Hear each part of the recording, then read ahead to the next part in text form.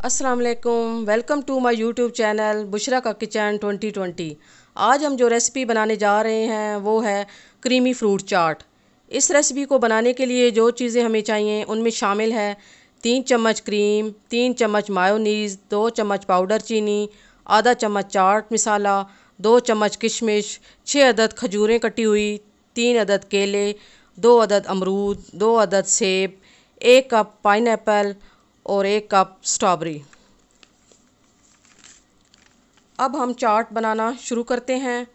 सबसे पहले हम एक बाउल में क्रीम शामिल करते हैं।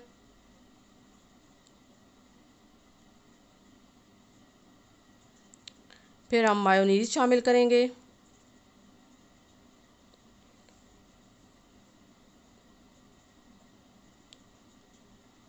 पाउडर चीनी शामिल करेंगे।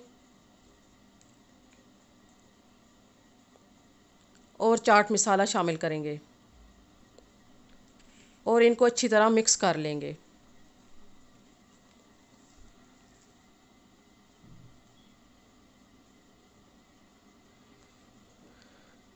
हमारा मिक्सचर तैयार हो गया है। अब हम इसके अंदर सारे फ्रूट्स शामिल करते हैं।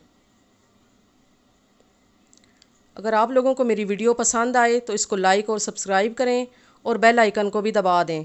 इस तरह आपको मेरी आने वाली वीडियोस की नोटिफिकेशन मिलती रहेगी। अब हम सारे फ्रूट्स को क्रीम के अंदर अच्छी तरह मिक्स कर लेंगे।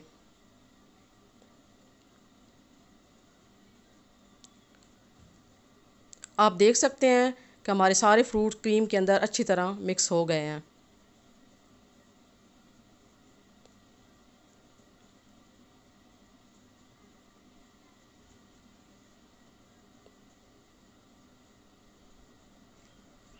अब हम अपनी फ्रूट चाट को सर्विंग डिश में निकाल लेंगे। और इसको ठंडा होने के लिए फ्रिज में रख देंगे।